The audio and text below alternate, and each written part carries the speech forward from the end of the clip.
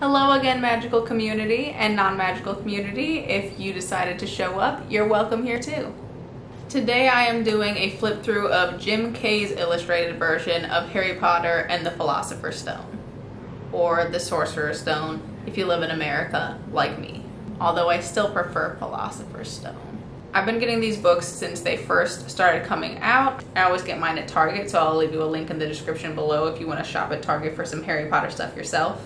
I am very excited to show this book to you guys. If you haven't seen these illustrations before, Jim Kay does really, really beautiful illustrations for the Harry Potter series. I actually just read that Jim Kay was personally chosen by J.K. Rowling to be the illustrator for the series, which I thought that was so interesting.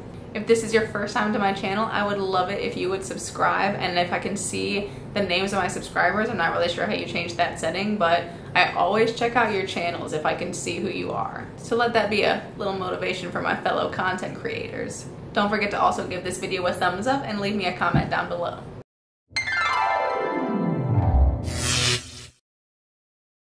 Okay, enough with the world's longest introduction. Let's get started on this book. I'm not sure if I'm explaining this right at all, but the MinaLima illustrations of the book remind me of a comic book and the Jim Kay illustrations remind me of a painting. So on the first page, right inside the binding, we have this really pretty, all black, very dark aesthetic picture of the outside of Hogwarts. It's super, super pretty. It's very gothic looking.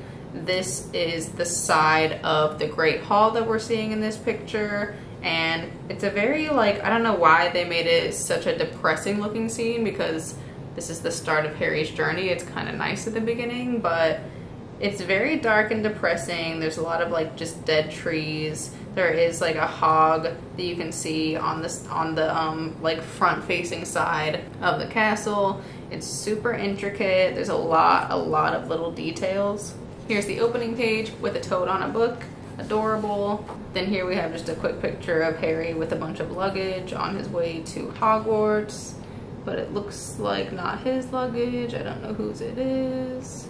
And we have a quick picture of the sorting hat. We have a quick little dedication with even a really adorable illustration of a, like a dog holding a stuffed bunny. And I think that is such a cute little illustration. I love the table of contents page in this book. It's got all of the like flying keys on it. Well, not all of the flying keys because we don't really know what they look like, but there's a bunch of different flying keys and they're colorful and they're all different and they're really cool. So here we have Vernon and Petunia and Dudley. I think Dudley looks perfect. If I'm gonna be real honest, I've never even noticed before in my times before of looking through these that it has the Grunnings drill sign above it. It says November, boring is our business. I love this little snow globe with the Privet Drive house in it. That is such an adorable thing and it reminds me of Coraline when her parents get trapped in the snow globe. I love how this map looks. I love how this cat looks. Super pretty moving on. Next we have a very pretty, vibrant picture of just a random owl. This is the time when Harry has just defeated Lord Voldemort. All the witches and wizards across the globe are partying and they're having a good time and they're out in the open in regular wizard clothing and robes and things. And they've got owls flying around and they're setting off shooting stars all over the place. So these are these owls. They're just some random owls. Here is a close-up of Hagrid on his motorbike. I think he looks so funny and serious in this picture. I think it's the angle of it. He looks like an actual like motorcycle gang dude or something. And this is when he is bringing Harry to Dumbledore at Privet Drive, obviously. Here on the next page, we see another picture of Hagrid on the motorbike, and this time we see him flying in the sky, and I really like the way this picture looks. I just want it to be that this is the scene where Harry Potter fell asleep over Bristol. We've already reached chapter two, The Vanishing Glass, and on this page we just see a chameleon. This really is like, it doesn't really matter, but it is interesting on this, I think this is supposed to be a mirror or something, but you can see this is actually a snake eating its tail around the outside and a spider, a little bit of a, um, what am I trying to say? A little bit of a premonition of what is to come. This is obviously the chapter where Harry is going to the zoo with his cousin Dudley for his birthday. Here is a very beautiful, lovely shot of Harry in his cupboard. It's really messy in here, but it's got a lot of things that I feel like Harry might use as his own or might play with, like some little toys and things here and there. I love that it has the different spiders. They really did like a lot of detail work with the spiders in this. They all look different. This one's even got like a whole skeleton top like on its butt that is crazy, crazy details in these. Actually, a lot of the spiders have like skeleton faces in their butts. And I love how Harry looks in this. He just looks so young and cute and adorable. But he also just looks so dejected and sad. Here is a pile of Dudley's gifts for his birthday. There does not look like there is 37 or 36 or 39 or however they're supposed to be in this picture. This is a funny page. It kind of shows Dudley in comparison with a gorilla and they're both eating something in a similar way and they look at each other in a similar way. I think that's a funny idea. And I also think it's kind of trying to show how dumb and also brutish Dudley is. Next page we see Harry pressing his face and hands up to the glass to look at the boa constrictor in the face. The ability to get like the look of being pressed against the glass and you can see like all the plants like reflected in the glass that are in the enclosure. Here is the boa constrictor after Harry has accidentally let it escape and it is kind of scaring everybody off and there's a ladder laying right there which I think is funny because with like the flooring as like the checkerboard pattern it really looks like Chutes and Ladders or whatever that game is. What I'm thinking of is SpongeBob's Eels and Escalators. Here is chapter three, the letters from no one. Here we see a letter being clutched in an owl's talons, and over here we see Dudley in his new school uniform to go to smelting. Here is a funny scene where Harry, Dudley, and Vernon are all fighting over one of Harry's letters. Then we have Vernon in his effort to keep the letters from getting to Harry, boarding up the mail slot, the cracks in the doors, all the doors and windows, I believe and he showed in this illustration that they're somehow still like shoving letters through when they're like coming out of this piece of wood, which I think is so funny. Here's a lovely picture of Vernon rowing the boat across the water to the little cabin in the middle of the ocean on the rock or whatever it's called. And Vernon is looking like an utter psychopath, I think, in this. For some reason, he like almost appears to be smiling, but I know he shouldn't be. I love the yellow raincoat. I think it's really pretty. I love the like contrast of the blue and the yellow in this picture and it sort of gives me like the feeling of foreboding of like the doom of where they're headed to this little shack. There's also a nice little seagull over here. Chapter 4 is the Keeper of the Keys. Here we see Hagrid's set of keys for Hogwarts grounds and I love, love this illustration because Hagrid has all these different types of keys and they are so crazy. There's one with what looks like human teeth on it on like some weird green ugly warty stick thing. There's another one that's like silver and has like viney looking things wrapped around it with an H for Hogwarts. We have one that looks like a broomstick and may also represent a snitch on the other end. We have one that looks like a bird's foot. It looks like a bird's foot is the key. It's disgusting. Also, this little troll thing with the giant hair. Don't know why this is here, but I'm pretty sure I had one of these and it was dope. He would have the craziest key collection of all time, and here it is. It's crazy. Then on this page we have Pirate Hagrid. I only say that because he's got these skulls and crossbones on like his, I don't know if it's like a handkerchief or something hanging right here, but it's very pirate-esque. I like that his belt is like a hog's head and he's also got this little like monkey keychain, cute. He's got some pins on the side over here. Don't know what his pin badges are for, but I'd like to know. You're a wizard, Harry. And that is what this picture illustrates right here. Hagrid's giving him the talk about how he's a wizard and where his parents come from and what happened to them and blah blah blah. Here is the crumpled up owl that Hagrid takes out of his pocket so that he can write a note to Dumbledore to tell him that he's told Harry everything and that they're going to be on their way to Diagon Alley tomorrow. I love this illustration that shows the Dursleys cowering under the shadow, just under the mere presence of Hagrid because he's a giant for real. Here is the scene of Hagrid doing a spell on Dudley to turn him into a pig. He doesn't do it correctly. Obviously, Hagrid doesn't have much magical abilities considering he got expelled in his third year, I believe, and got his wand snapped in half. So he probably never really learned to do magic very well, I would say. but he does manage to give Dudley his little piggy tail, which Dudley has to keep for, I believe, like a month after this until he gets taken to the hospital to get it removed, which I find to be a very interesting plot point in the story that I don't think I've ever heard anyone talk about, which is did the hospital have any questions about how Dudley acquired a pig's tail? Did any magical law enforcement ever have to go and cover that up in any way? I feel like Hagrid could have gotten some serious trouble for that. Anyway, the illustration looks super, super cool. The way the magic looks, even coming out of the end of the wand, it's super realistic. Like the smoke ring, the fire looking stuff it's like explosive. And then you can see Dudley over here just getting blown across the room. His, his little crocodile slipper fell off. He is just done.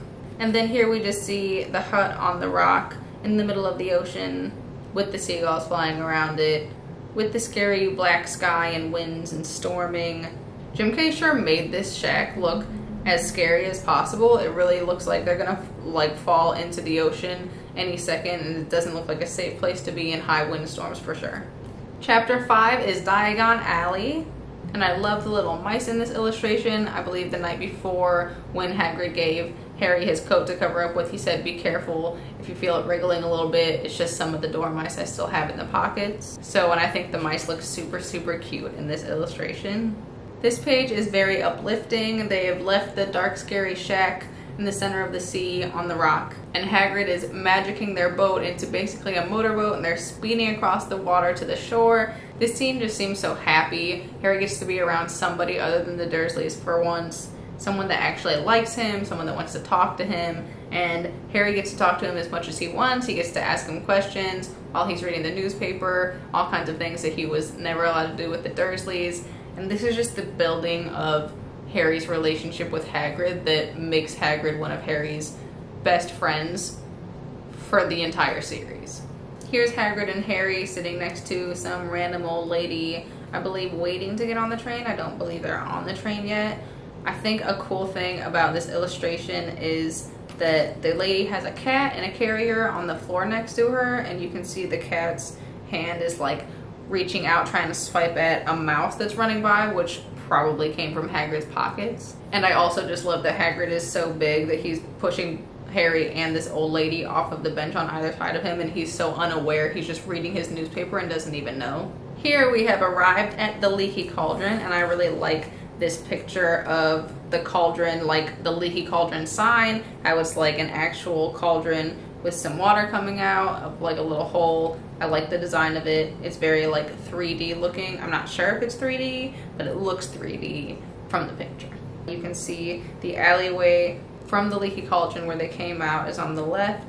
And we have a bunch of different shops in Diagon Alley, like what looks like S. Starling Materia Medica Mulligrubs. So this is a wig shop.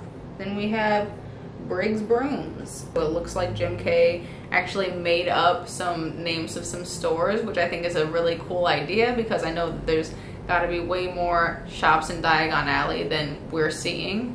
And did I mention how detailed these pictures are? There is a lot of small stuff to look at in these pictures honestly, if you really want to see it all, I recommend buying it for yourself so you can really get all up in there and really just look with a magnifying glass. Then on this next page of Diagon Alley, we have some giant plant store, and I can't read what the title is of that place. We have a Blinkhorn the Bootmaker. We have Gallo Glass, Scrying Mirrors, Enchanted Mirrors, Haunted Mirrors. We have what looks to be a fortune telling store. We have a Twinkle's Telescopes place for your astronomy needs. We have a children's clothing store. And then here finally on this far side we have Flourish and Blotts, a store that we've actually heard of from Diagon Alley. And next to that you can see Madame Malkin's robe shop.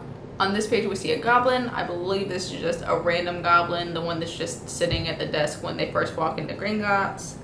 I don't think this is Griphook.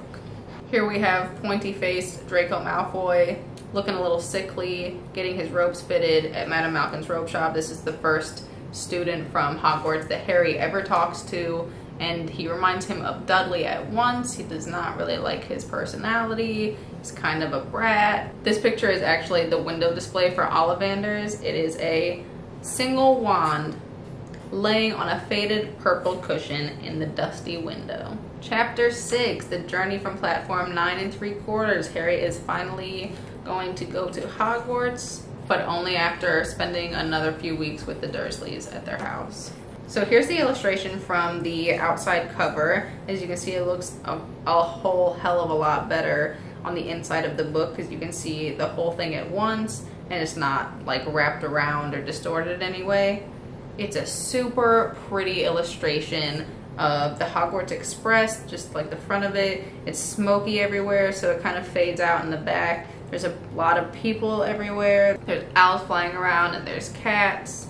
There's luggage and the Hogwarts Express looks very impressive. Gotta love the details on the train and like the texturing on this front panel here I don't know if Jim Kay intended the Hogwarts Express to look like a dragon, but he definitely put like a dragon head up here with like the fire coming out and the smoke, and then it has like the dragon scales going down the top of it, which is a really cute idea. I like it. Here is a lovely picture of Albus Dumbledore. He is eating some sherbet lemons. He's got a little a little knitwork in front of him. I don't know that Dumbledore does much knitting, but it appears so in this picture. I'm not sure what this plant thing is that he's got next to him, but I am digging it. In fact, I think I've seen a similar plant that exists in real life and not in the wizarding world. Here is Ron and Harry sitting on the Hogwarts Express together for the first time. This is once they've already started sharing candy together that Harry generously bought enough for them to share. Harry is looking at his chocolate frog card, holding his chocolate frog. Ron has scabbers on his head. There's some Bertie Bott's beans, it looks like, next to him on the chair. And the print on the seats behind them is flying pigs, which I believe is the symbol for the Hogwarts Express, a flying pig. Maybe it was like, we're gonna start taking a train to Hogwarts. And somebody else was like, yeah, when pigs fly. They were like, perfect. Here is another very scary picture of Hogwarts Castle, and I don't know why it gotta be so scary considering this is like the first time Harry sees it, I'm pretty sure. But it's looking dark and scary and gothic and like we're in a scary movie right now or like a demon movie or something. But it still does look cool. I mean, I'd still want to go to school there even though it does look kind of scary. Chapter 7, The Sorting Hat. And this is just like an outside view of like one of the walls or like the main front outside wall of Hogwarts or something, maybe like when they're first entering the building. I gotta say, Jim Kay really puts a lot of hogs, a lot of pigs, a lot of pig heads. There is a lot of pig illustration throughout all of Hogwarts and the Hogwarts Express and all of it. And this hog on the front even has warts. Next is the scene when all of the first years are standing right inside the entrance hall and Professor McGonagall has left them alone for a few minutes. She's gonna come back and get them. But in the meantime, they see all of the Hogwarts ghosts come flying through the walls and they're all freaking out for a second, but then they're like, oh man, it's the Hogwarts ghost, it's lit. And the Fat Friar comes by and is like, hope to see you in Hufflepuff House. Gotta represent, Hufflepuff House clearly has the friendliest ghost the way that ghosts are depicted is pretty scary. They're like kind of lighting up in a strange, creepy, iridescent type of way. The one on the far left is clearly the scariest, and I don't know who it's supposed to be, but it is just a skeleton with like a see-through dress kind of shape on, and it's got a scary umbrella thing. It may be Mary Poppins. I don't know who it's supposed to be, but it is definitely scary. Oh, there's a couple of them with these scary umbrella looking things. And we do see nearly headless Nick in this picture. Here's a close-up of the sorting hat on Harry's head. It is almost, you wouldn't notice that it's got a face. It sort of just looks like a regular old kind of dilapidated hat. Is that a normal word to use for that? I love like the patching and the fraying of the hat. It looks really old and tattered. Although it doesn't look as big as I think it's supposed to because I think it should fall over Harry's head. Here's our first look at Professor Quirrell. We didn't see him in the Leaky Cauldron for some reason. He looks very scared and he looks older than I expected and his turban looks looser than I think it ought to be. Can you please keep that Dark Lord in there? Here's another illustration of Nearly Headless Nick. This one makes it pretty obvious that he is nearly headless. And even it's like they got some fake ghost blood coming out or something. Okay, so this seems like a pretty good time to wrap it up for this video. I am about halfway through the book. I don't think I'm gonna try to get through this all in one video or it's gonna be like a really, really long video and no one's gonna watch the whole thing and then be pointless. But it seems like a good stopping point because Harry is just kind of got to Hogwarts, got through the school feast, and starting the next video, Harry will basically be in his first day of classes, so we will be starting off there the next time. And we will be finishing all of it. So anyways guys, that's it. I hope that you liked it. If you did, go ahead and give this video a thumbs up. Subscribe to my channel if you haven't already so that you don't miss out on the next part. Plus, upcoming after that, I'll be doing books 2, 3, and 4 in a similar fashion. The fifth one isn't due to come out until at least fall of this year. Leave me a comment down below. Let me know which was your favorite illustration. Do you like the Jim Kay version better or the MinaLima version better?